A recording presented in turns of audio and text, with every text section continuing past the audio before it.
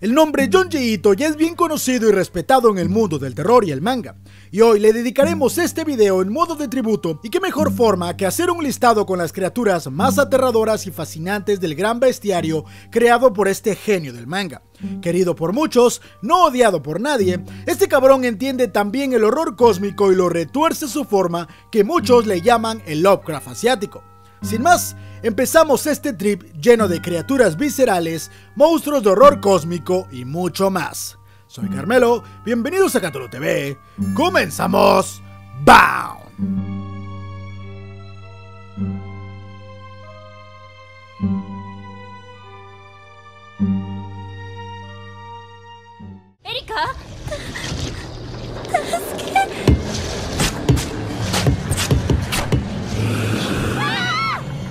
Las criaturas de Geo son sin duda algo de lo más mórbido, asqueroso y peculiar de su lista de monstruos. Y es que la historia de Geo, además de ser un apocalipsis de los más extraños que nos ha arrojado el terror, lo escatológico de las criaturas han provocado el asco en más de uno. Honestamente, cada vez que veo esta historia, a mí se me antoja un ceviche, pero la mayoría de las personas se siente incómoda cuando la topan. Estas criaturas son extraños peces con patas en formas de arañas que salen de los mares para invadir a la humanidad y producen un hedor espantoso. Estas cosas son sumamente agresivas y podemos ver desde peces muy pequeños hasta incluso un enorme tiburón. Lo más aterrador de todo esto es que estas criaturas fueron creadas por extraños experimentos hechos por científicos militares y ahora estas cosas tienen un germen que puede infectar a los humanos que después de un proceso de mutación que ya de por sí es asqueroso, terminas convirtiéndote en una amalgama sin alma y deforme que es todavía más espantosa que las criaturas anteriores. Y entre más avance la trama, estas criaturas se van convirtiendo en algo mucho más horrible y complejo. Las fallas de Amigara son extrañas siluetas u orificios que se encuentran en una alejada montaña al norte de Japón y tienen perfectas formas humanas, todas diferentes entre sí. Parecen ser tan profundas que a pesar de que los geólogos introducen cámaras, no logran encontrar su final. En la historia, las fallas parecen atraer a las personas con un extraño sentimiento impulsivo de atracción de que la gente se meta en ellas. Algunas parecen tener la forma exacta de ciertas personas, lo que les hace creer que algunas los han elegido por las que a toda costa deben entrar. Lo más extraño es que estas siluetas parecen provocar ansiedad, depresión o incluso pesadillas a las personas que están cerca del lugar. Algunos personajes no pueden contenerse y entran en los orificios y no se vuelve a saber de ellos. A pesar de que varios rescatistas tratan de salvar a estas personas, los orificios son tan profundos y tan angostos que no pueden hacerlo. Un tiempo después, varios escaladores encuentran del otro lado de la montaña otras siluetas, pero estas no son para nada parecidas o humanoides, y parecen más bien solo formas aleatorias, pero cuando investigan en ellas se dan cuenta que aterradoras criaturas están saliendo de las mismas. Criaturas que parecen ser las personas que entraron por el otro lado y poco a poco se fueron deformando hasta crear estas formas horribles.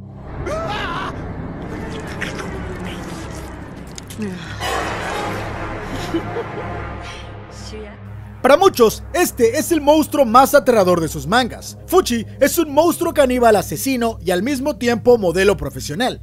Ella es muy delgada y extremadamente alta.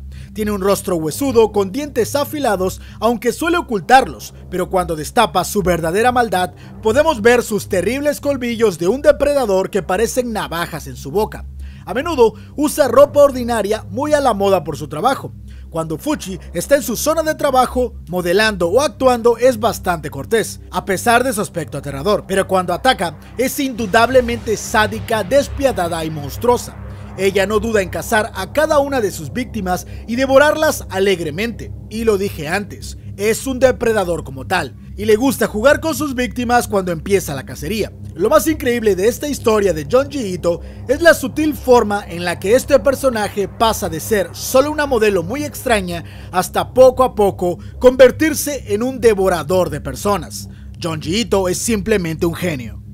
Los secretos de la mansión embrujada nos presenta varios seres atroces que podrían causar pesadillas en más de uno, pero en mi opinión, el que se lleva el primer lugar es el niño caníbal, un pequeño con un rostro desbordante de sed de sangre, con líquidos saliendo de sus cuencas y unos colmillos de pirañas aterradores que vuelven a este personaje un ser temible. Su boca es enorme y tiene tenebrosas garras y encima cuando lo vemos alimentándose de los restos de un policía que habían enviado a investigar antes, nos damos cuenta que seguramente esta cosa ya se ha alimentado de muchísimas víctimas. Como dato curioso, se dice que el rostro de esta criatura sirvió de inspiración para hacer el rostro del Babadook.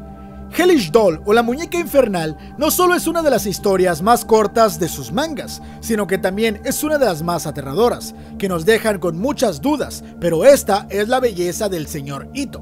Esta muñeca solía ser una niña normal muy amada por sus padres, pero de pronto sin saber por qué, apareció una extraña enfermedad o maldición que convertía a los niños en cuerpos estáticos que cada vez más asemejaban a un muñeco de madera pero con el pasar de los días, esta muñeca se fue deformando a tal grado que termina convirtiéndose en una criatura aterradora con partes insectoides y tentáculos que nos dejan una última escena de lo que alguna vez fue una niña en un potente horror enfermizo. El mismo autor ha comentado que esta historia está basada en la pérdida de un ser querido, posiblemente un hijo por alguna enfermedad degenerativa, y aquel largo proceso de ver a esa persona que amamos cambiar de forma es muy doloroso.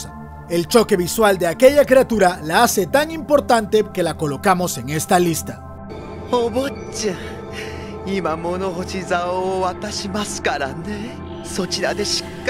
Otra de las historias muy conocidas del autor que tiene un gran horror de un elemento tan simple es el de la historia La ventana de al lado donde podemos ver a una horrible criatura con forma de mujer deforme acosando a un chico que se acaba de mudar intentando llegar hasta su habitación ventana a ventana. Esta criatura tiene un rostro deforme lleno de pústulas y verrugas, además de colmillos, pero tiene alhajas y un vestido llamativo simulando un toque femenino. Esta entidad trata de llegar hasta su habitación, incluso con su habilidad de deformar la casa y hacer que la ventana esté cada día más cerca. Algunas historias como esta no nos dan muchos datos acerca de las criaturas, pero también en eso se basa la belleza del horror de estos mangas. ¿Para qué narrar lo inenarrable cuando nuestros miedos propios pueden hacer todo el trabajo? Tommy o Tomie es uno de los personajes más representativos en la larga carrera del maestro Ito. Ella es una joven frecuentemente descrita como una chica muy hermosa por aquellos que la conocen. Los detalles de su apariencia varían según la historia, pero siempre tiene el pelo oscuro largo, a menudo lacio, y un pequeño lunar debajo del ojo izquierdo. Tiene una peligrosa personalidad manipuladora, hedonista y egoísta que seduce a los hombres para que cumplan sus órdenes. Ella un día fue asesinada de forma horrible, despedazándola por completo. Algo tan triste que todos sus compañeros del colegio y maestros fueron a su funeral. Y de pronto, al día siguiente, como si nada hubiese pasado, Tommy llega a clases para sorpresa de todos. Ella tiene una poderosa habilidad de super regeneración y es que no solo puede regenerar sus heridas dándole un cierto nivel de inmortalidad, sino que incluso puede llegar a generar otras como ella desde una sola gota de sangre. Clones, muchos clones. Ella ha sido decapitada, baleada, quemada y cortada de muchas formas. Y siempre sigue regresando.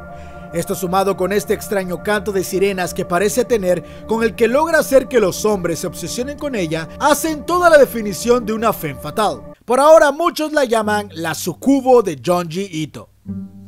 La chica caracol o la chica de las babosas, Yuko, es una pobre niña que solía tenerle mucho asco a estos moluscos. Un día de la nada, ella empezó a tener problemas de habla, su lengua actuaba muy extraño y le costaba trabajo poder comunicarse. Un día, esta se transforma en una babosa de gran tamaño de la que no tiene control, que se mueve por su rostro. A pesar de que ella trató de cortarse la lengua, esta siempre le volvía a crecer. Un día, como medida desesperada, su padre le hizo meterse en una bañera de sal para tratar de secar a la babosa.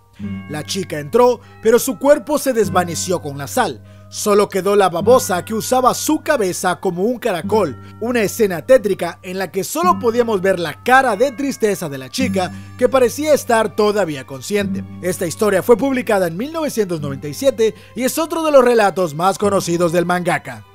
Los globos asesinos de John Ito son extrañas cabezas flotantes en formas de globo que un día inundan la ciudad Estos parecen tener el rostro de cada uno de los habitantes y yacen flotantes con una mirada tenebrosa y sonriente.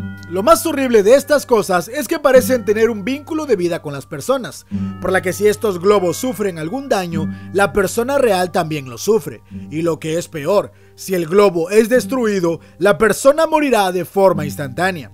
Pero por si fuera poco, si entras en contacto con tu globo, este te estrangulará y quedarás muerto. El autor ha declarado que estos seres son una forma de explicar el miedo a la muerte y la gran tasa de suicidios y depresión por la forma de vida que se tiene en aquel continente. Y también ha comentado que le sirvió de referencia la historia de It de Stephen King. La mujer que lame es una mujer misteriosa quien tiene una enorme y deforme lengua infectada con algún tipo de patógeno que al entrar en contacto con cualquier persona, esta es contagiada y envenenada al poco tiempo. En la historia no se sabe demasiado de este ser quien ataca a víctimas de forma esporádica, pero sigue un patrón durante un tiempo y empieza a ser buscada por la policía local. En un punto de la historia, descubrimos que su lengua parece ser una forma viviente e independiente de la mujer, y cuando logran asesinarla, la lengua se desprende y parece tener vida propia. Luego en la historia se nos dan indicios de que todo esto fue provocado por un tipo de veneno proveniente del cianuro de potasio y nos dan a entender que quien estaba detrás de todo esto fue una química experta en venenos, aunque esto nunca se aclara. El hombre que sueña es la triste y aterradora historia de un hombre que a raíz de una misteriosa enfermedad empieza a tener sueños demasiado largos, durante una noche empieza a tener pesadillas horribles que duran años y luego siglos. Estos sueños parecen irle arrebatando su sanidad mental poco a poco y eventualmente los cambios físicos comienzan a aparecer. A pesar de que en la historia pide ayuda médica, los doctores del hospital no saben cómo tratarlo y sus cambios físicos llegan al punto de convertirlo en un ser deforme con piel marchita y quebradiza, volviéndolo un monstruo andante. Al morir, el hombre ya tenía sueños que duraban miles de años, y se encontraron unos cristales en la corteza de lo que alguna vez fue su cerebro que podrían ser la causa de estos mismos sueños. La criatura que encalló en la costa es una de las historias más Lovecraftianas del autor. Se trata de un ser de gran tamaño, algo parecido a una extraña serpiente marina con horribles tentáculos y una piel grotesca y transparente. Este ser encalla en la orilla de una playa cuando se encontraba por decenas de personas. Eventualmente la gente y un grupo de científicos descubren que esta serpiente tiene dentro de ella una cantidad inmensa de cuerpos de personas que encima parecen moverse como si estuvieran con vida. Cuando abren a la criatura, estas personas salen en un estado casi mutado como si su piel hubiese cambiado por haber pasado tanto tiempo dentro de la criatura y parecían haber enloquecido completamente, pero estos se habían mantenido con vida probablemente alimentándose de los nutrientes que la criatura consumía, lo cual lo hace asqueroso, aterrador y fascinante. Hay que decir que de alguna forma onírica, este ser, mientras estaba encallado, parecía hablarle en los sueños y le provocaba depresión, ansiedad a las personas que estaban cerca de la criatura. El árbol de la savia es un misterioso árbol que se encuentra en Sudamérica y genera una savia o miel extremadamente adictiva. En su historia, cuando las personas beben de aquella miel es como una droga tan potente que no pueden dejar de consumirla. Pero algo muy extraño sucede cuando las personas la consumen. Sus cuerpos parecen estallar de forma horrible, al grado que no queda nada de ellos más que solo una enorme mancha de sangre. En la historia, cuando las personas se enteran del horrible destino, luchan contra la ansiedad de consumir más de la miel o morir de forma horrible. Eventualmente, la mayoría sucumbe ya que ningún otro alimento puede cubrir la saciedad, una obsesión brutalmente adictiva. Durante el proceso de consumirla y de varias víctimas, se van dando cuenta que una extraña fuerza parece caer del cielo, y es la causante de que estos mueran aplastados. Todo parece indicar que de alguna forma este árbol tiene raíces que generan algún tipo de energía cósmica o paranormal que no importa dónde te encuentres. Sus raíces pueden trasladarse y aplastarte, y aparecer de la nada hasta que no quede absolutamente ni un rastro de ti. Aunque el escritor explica que esta historia tiene que ver con la ansiedad y las adicciones, hay una teoría de internet que la relaciona con Shub Nigurat, la criatura Lovecraftiana, ya que esta entidad entiende la mente humana y nuestro deseo y obsesión para autodestruirnos con todo tipo de placeres mundanos. El pueblo de Uzumaki es probablemente el lugar más conocido de las historias de John Ito. Este es un lugar horrible donde una serie de fenómenos aterradores que parecen romper todas las reglas de la física y la naturaleza suceden, al parecer provenientes de la maldición de las espirales, como la obsesión de un hombre con espirales que empieza una colección de objetos con aquella forma hasta el punto de él mismo de formar partes de su cuerpo como espiral hasta provocar su muerte. También casos de gente que se termina convirtiendo en caracoles mutantes, o personas que llegan a tener algún evento terrorífico relacionado a más espirales. En este pueblo pasan todo tipo de sucesos horribles que escapan a toda posible explicación, pero según parece, esta maldición ha existido en el lugar desde siempre y puede afectar a cualquiera. No hay una regla específica por la que nadie está a salvo. Nadie sabe a ciencia cierta de qué se trata esto. ¿Es una extraña dimensión? ¿Algún poder alienígena? ¿Alguna fuerza Lovecraftiana? Aún no tenemos respuesta. Aguas con las espirales, morro. Remina, el planeta viviente destructor de mundos, es para mí la creación más aterradora y Lovecraftiana de John G. Ito. En su historia, un científico descubre un misterioso planeta que se mueve a una velocidad impresionante y que parece devorar otros planetas en el camino, en una especie de canibalismo galáctico completamente aterrador. Al hacer este descubrimiento, el científico le pone el nombre de Remina como su hija a este planeta, pero algo horrible sucede. Parece ser que este cuerpo cósmico parece haber cambiado de curso y ahora se dirige justo hacia nosotros. Remina es un enorme planeta que parece tener vida propia y puede cambiar de rumbo y velocidad según lo requiera, viajando por galaxias tragándose todo lo que se encuentra en su camino. Eventualmente llega a la Tierra para destruirla, tengo que decir que esta criatura tiene una serie de elementos Lovecraftianos e incluso científicos tan fascinantes que he decidido dedicarle un video que estaré subiendo próximamente, porque esta entidad se merece su propia explicación a detalle. Así que no te pierdas ese video si eres amante de John G. la ciencia o los temas Lovecraftianos. Te aseguro que te volará la cabeza. Con esto concluye nuestro listado y espero que te haya gustado la selección de este video, con las que considero las criaturas más aterradoras de John G. No te pierdas el próximo video que hablaremos acerca de Hellstar Remina y por supuesto, si quieres que haya una segunda parte o que haga un video solo de las historias de John G. que considero más aterradoras, pónmelo en la caja de comentarios.